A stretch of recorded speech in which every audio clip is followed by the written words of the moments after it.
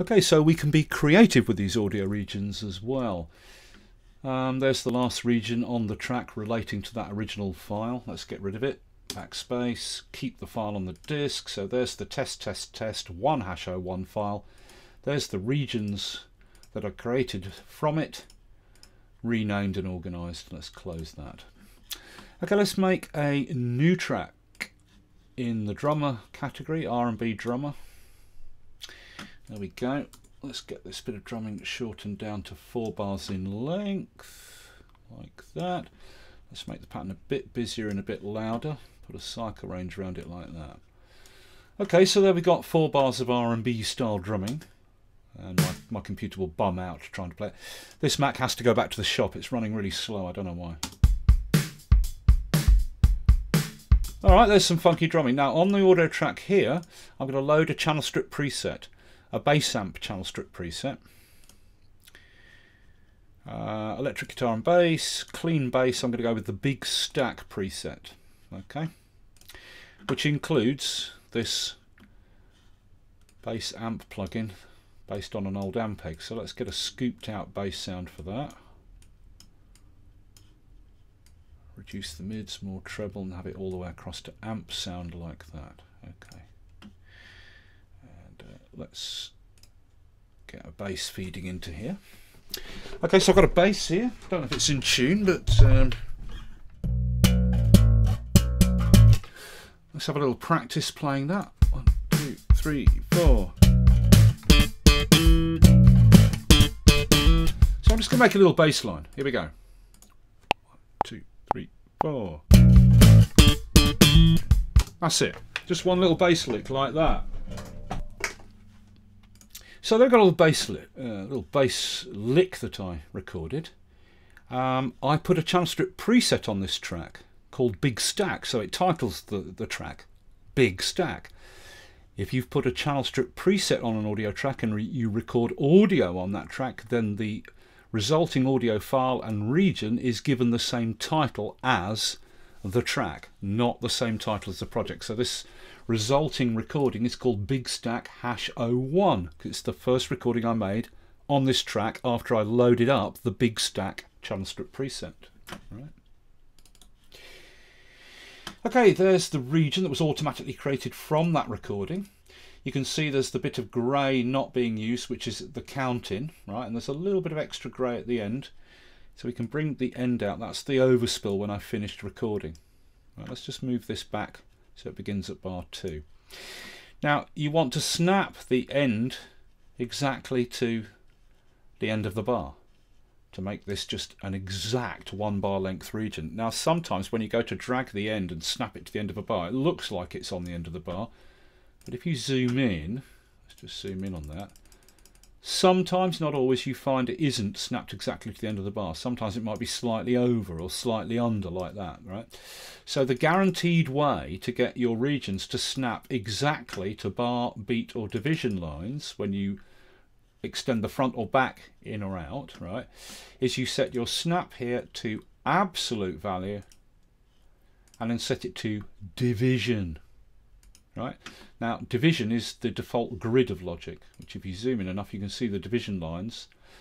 The default grid or division for logic is sixteenths.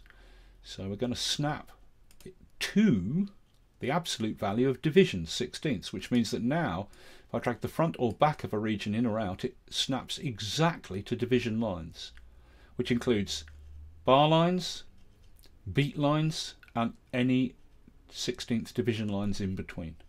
So we know the end of this region is snapped exactly to the end of that bar and the front is snapped exactly to the beginning of the bar. Okay. So there it is. Beginning at bar 1. A Short, uh, lower that in volume. Okay, there is my region. Okay, let's retitle it in the project media. Let's call it bassline. Okay and it retitles the region on the track of course right? Okay so there's my bassline. Now we can be creative with this right? I could if I wanted to yeah I could just uh, copy this over to every bar so that my bass line just cycles around every bar playing the same bass line Notice every time I copy this one bar region over on the track, it creates a new copy of the region here in the project media. Right? I could do that, but we let's get rid of these copies out of the project media here. So we're just left with the original region representing that one bar of bassline. Um, yeah, I, I, can just use it, use that region as is. But part of the beauty of not this non-destructive editing is that we can chop basslines, guitar patterns, um, drum beats. We can chop them up into chunks and rearrange the order of those chunks to get completely new patterns. So here's my bass line. The beginning bit here is the boom boom opening two notes. Boom boom. Then from here onwards is the badap bat badap, right? So I'm going to chop that bass line with the scissors exactly on that 16th line there. Boom. And now it's cut in half, right? This first half, here it is in the project media, represents the beginning part of the bass line, the boom boom. So I'm going to retitle this boom boom. And then this second region here represents the last half of that one bar bass line, the blap, blap, blap. So I'm going to rename this blap, blap. Okay. So we've got boom, boom and blap, blap. And now what I'm going to do is take the blap, blap. Let's shorten this to one bar in length. Oh, sorry, two bars in length. Two bars, right? I'm going to take the blap, blap and drag it right to the end. Then the boom, boom bit, I'm going to copy it so it plays every uh, half a bar. Copy, copy.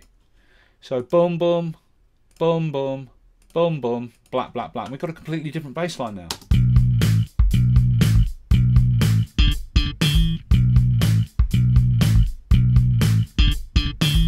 We're being creative chopping up the bass line and rearranging the order of the bits, or in this case, we've copied the opening three times and tacked the ending on the end. Okay. I copied this region over to here and here. There's the original ending half. So in my project media, I've got the original boom boom beginning, the blap blap ending bit, and the two copies of the boom boom there and there. Okay. And I've got a completely new bass line. And you know, you can just copy this over as many times as you want. Like that. And each time I copy, it's copying those regions in, in my project media. Right, let's undo and undo that. But it's a bit, you know, but these four chunks, these four regions now make up my new two bar bassline. Okay? Copying these around all the time is a bit of a pain. So let's bounce these new, these chopped up and organized regions. We bounce them down to a completely new file. So all of our regions that we've chopped up and reordered to make the new bassline, we select them as a group and then we bring up the shortcut menu for this group of regions, which you do by right clicking on any region in the group. But if like me, right click is assigned to your toolbox, then you control left click on any region in the group to bring up the shortcut menu. Control left click. Bounce in place. We're going to bounce these chopped up and reorganized regions into a completely new file. Bounce in place. We're going to call it boom boom new put it on a new track, mute the original track, and we will not bypass effect plugins, which means that the sound of the bass amp sim, the EQ and the compression and everything else on the channel will be bounced down and included in the audio file. And we'll include also volume and pan information and normalize it. Here we go. Bounce down. And Logic bounces a new file, two bars long, from these chunks that were chopped up and reordered, these regions. Now I've got a completely new file, boom boom new 3, and the region represents the entire file on the disk. There's the region. So now, and it's put it on a new audio track, so now we've got a completely new two bar stereo file created from these chunks made out of the original recording. This is our new bassline as a new file.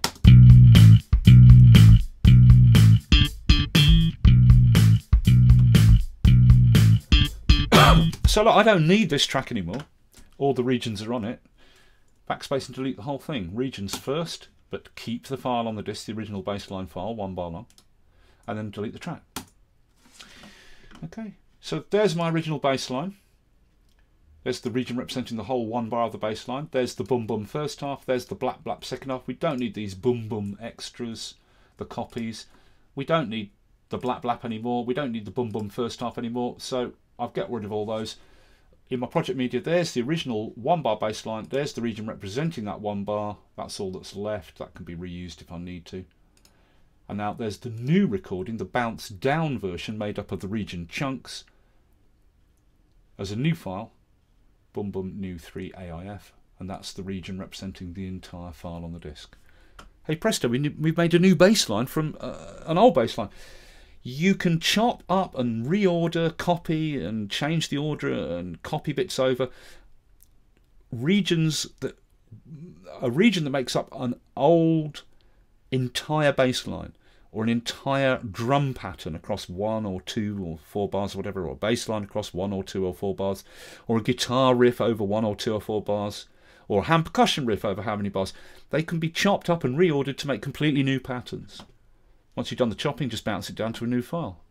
Hey presto, new bass line, right? Okay, that's one way you can be creative. Let me show you another one with some drums.